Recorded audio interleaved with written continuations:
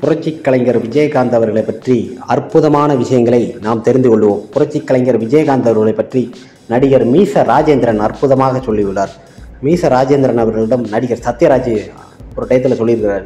என்னன்னா ஏவிஎம்மில் ஷூட்டிங் நடந்துகிட்ருக்கு ஒரு பக்கத்தில் சத்யராஜ் படம் நடந்துகிட்ருக்கு ஒரு பக்கத்தில் விஜயகாந்த் சார் படம் ஷூட்டிங் நடந்துகிட்ருக்கு இந்த படம் ஷூட்டிங்லாம் நடந்துகிட்டு இருக்கும்போது ஷூட்டிங்ஸ் முடிஞ்சு ஆறு மணிக்கு பேக்கப் பண்ணிட்டு நம்ம சத்யராஜ் அவர்கள் வைக்கப் பண்ணிட்டு வீட்டுக்கு போயிட்டாப்ல.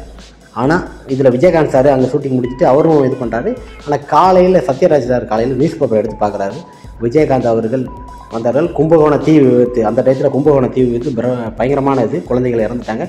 அந்த இடத்துக்கு போயிட்டு விஜயகாந்த் சார் போயிட்டு காசு கொடுத்துட்டு வந்தார். பத்து லட்சமோ அஞ்சு லட்சமோ கொடுத்துட்டு அங்கேருந்து வந்ததும் அதை பார்த்து பேப்பரில் உடனே இவ்வளோ ஃபண்டு கொடுத்துருக்காரு அப்படின்னு சொன்னோடனே இதெல்லாம் பார்த்துட்டு ஐயோ விஜயகாந்த் கொடுத்துட்டாரா? அப்படின்னு நினச்சி கொடுக்க வேண்டிய நிபந்தனைக்கு இதாகி போய் சத்யராஜ் கொடுத்துருக்காரு ஒரு லட்சம். அந்த டயத்துலலாம் நிறைய பேர் சொன்னாங்க இப்போ டார்ச்சில் அடிச்சுக்கிட்டு இருக்கிறாரு நம்ம கமலஹாசன் அவர்கள்.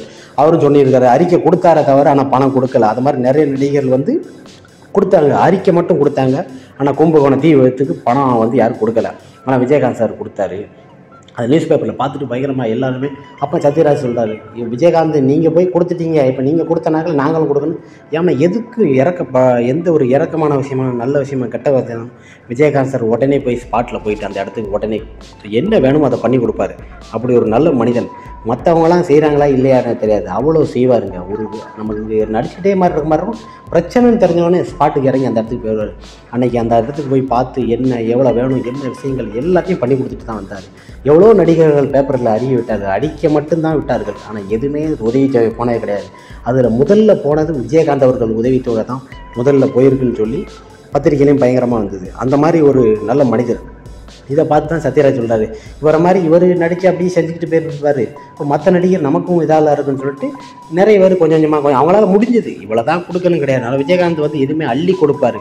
அப்போ தான் சத்யராஜ் அவர் சொல்கிறாரு விஜயகாந்த் அவர்களை பொறுத்த வரைக்கும் என்னை பொறுத்த வரைக்கும் எம்ஜிஆர் அவர்கள் தான் அள்ளி கொடுத்தார். அதை எங்களுக்கெல்லாம் சொல்லி கொடுத்தவர் விஜயகாந்த் அவர்கள் தான் அடிக்கடி சொல்லுவாப்புல.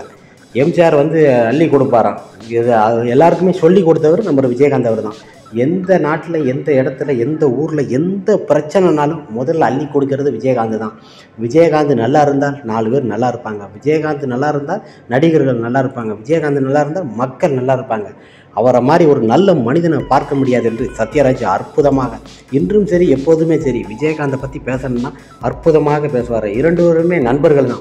விஜிமா விஜயின்னு தான் கூப்பிடுவாங்க. சத்யராஜ் ரெண்டு பேருமே அப்போ அந்த காலகட்டத்தில் ரெண்டு பேருமே திரைப்பட வாய்ப்புகள் தேடி வந்திருக்கிறாங்க. அப்படிங்கும்போது ரெண்டு பேருமே நெருங்கிய நண்பர்கள் தான். ரெண்டு பேரும் ஒரே டயத்தில் தான். அப்படி சந்தித்து அவங்களுக்குள்ள நட்பு வந்தது தான் அவர் போகிற இடத்துக்கு இவர் போவாங்க இவர் போகிற இடத்துக்கு அவர். அப்படி இருவருமே விஜயகாந்த் சத்யராஜ் நட்புகள் ஏற்பட்டு தான் திரைத்துறையில் வந்து அவர் கூட நல்லா பழகி அவர் செய்த உதவிகள் தான தர்மங்கள் எல்லாமே பார்த்து சத்யராஜ் நிறைய இதாக இருக்கிறார் ஏன்னா அவர் விஜயகாந்த் வந்து எதுவும் யோசிக்க மாட்டார். கொடுத்துருவார். மற்றவங்க வந்து நம்ம நடிச்சதை கொடுக்கணுமான்னு யோசிக்கக்கூடிய ஒரு மனிதன் என்று அற்புதமாக நமது மீசை ராஜேந்திரன் அவர்களும் சத்யராஜ் அவர்களும் சொன்னதை விஜயகாந்த் அவர்களை பற்றி அற்புதமாக கூறியுள்ளார்கள் என்று